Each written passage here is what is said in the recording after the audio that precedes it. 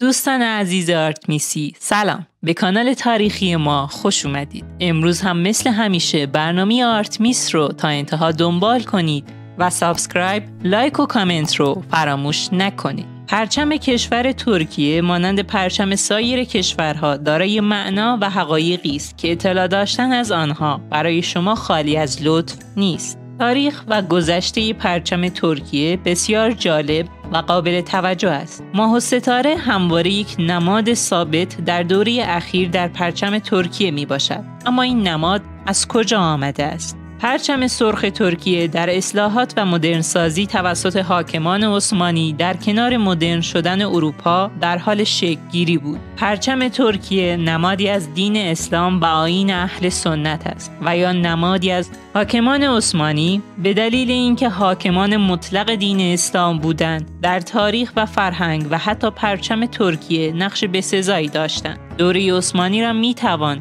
یکی از دوره های پر رونق و درخشان در تاریخ ترکیه دانست. به طور واضح استفاده از نماد ستاره و هلال پرچم ترکیه به دوره قبل از میلاد و دوران پادشاهی قسطنطنیه باز میگردد. بعد از این دوران ستاره و هلال به یکی از نمادهای دین اسلام توسط خلفای صدر اسلام انتخاب شد به طوری که نماد ستاره و هلال حتی به مساجد و نمادهای اسلامی راه یافت. این نماد به قدری نزد حاکمان عثمانی و ترکیه محبوب بود که همواره در طول تاریخ از آن استفاده کردند. این نماد در کشورهای اسلامی هم به شدت رواج داشت. پرچم تونس، الجزایر، آذربایجان، پاکستان، ترکمنستان، سنگاپور، مالزی، موریتانی، لیبی از این نمادگرایی اسلامی در پرچم کشورهای خود استفاده کردند. پرچم از روی طرح پرچم عثمانی که برای آخرین بار در سال 1844 میلادی اصلاح شده بود گرفته شده است.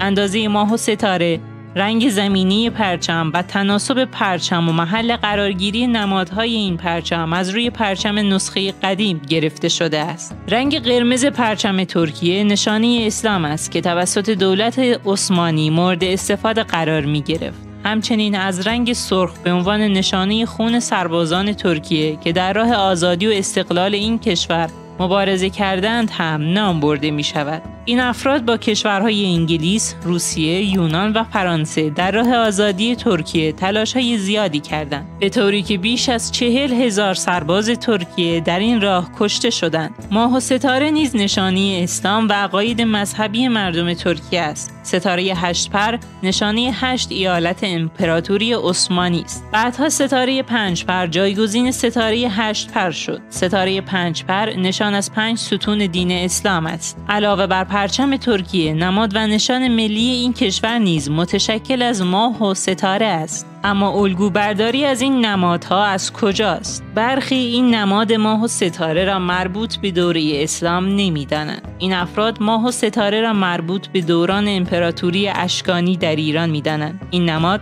به وفور بر روی تاج شاهان قرار داشته است. هلال ماه و ستاره نمادی باستانی است که در شرق مدیترانه، ایران، میان رودان و آسیای میانه در زمینه های مختلف تاریخی استفاده می شد که حدوداً در مستعمره یونانی بیزانتیوم توسعه یافت. 300 سال قبل از میلاد پس از اینکه بیزانس برای مدت کوتاهی با پادشاهی ادغام شد به عنوان نشان سلطنتی مهرداد ششم پونتوس و پادشاهی پونتوس بیشتر مورد استفاده قرار گرفت همزمان در این دوره این نماد در قرن اول در سکه های ضرب شده توسط شاهنشاهی اشکانی ایرانی وجود داشت شاید این موضوع کمی دور از ذهن باشد ولی این نماد در پرچم ترکیه را می توان در طول تاریخ و در آثار و منابع باستانی یافت نگاهی به سکه های ساسانی نیز در نیمه دوم حکومتی آنان نشان می دهد که ساسانیان به شدت از این نماد در سکه های خود استفاده می کردند.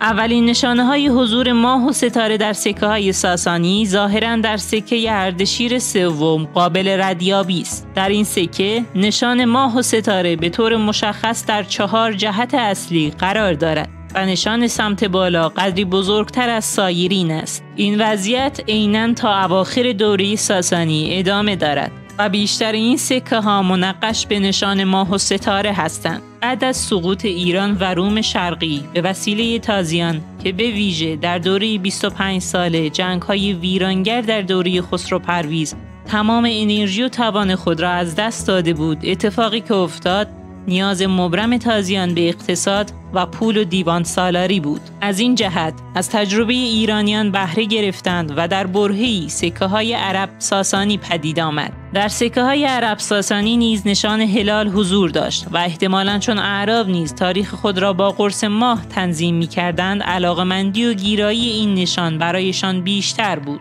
به این ترتیب نشان ماه و ستاره از تمدن ایرانی ساسانی رسما وارد تمدن اسلامی شد از آنجا که حاکمان عثمانی خود را خلیفه مسلمین می‌دانستند در نزد اروپاییان پرچم اسلام ماه و ستاره شناخته شد افسانه پیدایش ماه و ستاره به نبرد کوزوو و عثمانیان در سال 1448 زمانی که نیروهای عثمانی بر نیروهای مسیحی پیروز شدن باز می گردد. در این افسانه بعد از پیروزی بر کوزوو ماه و ستاره در خون کشته شدگان دیده شد. افسانه دیگر به زمان پادشاه اول عثمانی باز می گردد. در این افسانه پادشاه خوابی می بیند که در آن هلال و ستاره از سینه قاضی دادگاه شریعتی که قصد ازدواج با دخترش را داشت بیرون آمد. سپس به سینه او نشست و باعث رشد یک درخت عجیب شد که درخت تمامی هستی را پوشان پس از فتوحات گسترده عثمانی، پادشاه اول عثمانی و بعد از سقوط قسطنطنیه، پادشاه اول نام شهر بیزانس یا همان قسطنطنیه را به اسم امروزی استانبول تغییر داد. عثمان رویایی بزرگ را در سر می پروراند و خود را برای رویایی که در مورد پادشاهی داشت آماده کرد. عثمان همواره اعتقاد داشت که این پرچم نمادی از خوشیومنی برای امپراتوری تازه تأسیس شده اوست. مردم ترکیه بر این باورند که زمینه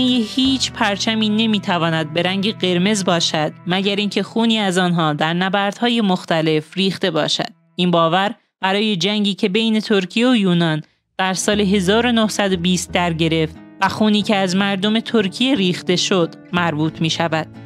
مردم ترکیه امروزی ماه را نماد و نشانه ای از حضرت محمد و ستاره ها را نمادی از پنج ستون دین می دانند. به هر نف ترکان در عکس تمدن ایرانی چیزی در تازیان کم نداشتند و به محض ورود به جامعه ایرانی آداب و رسوم و فرهنگ و زبان ایرانی را می آموختند و تا اندازه ای از بدویت خارج می شدند. سرنوشت نشان ماه و ستاره چنین بود که نخست به نماد اسلامی و سپس به نمادی ترکی بدل شد. هنوز بسیاری از کشورهای عربی و اسلامی از این نشان استفاده می کنند که در مساجد و یا پرچمهایشان قابل مشاهده است. نظر شما راجع به این پرچم و این نماد تاریخی چیه؟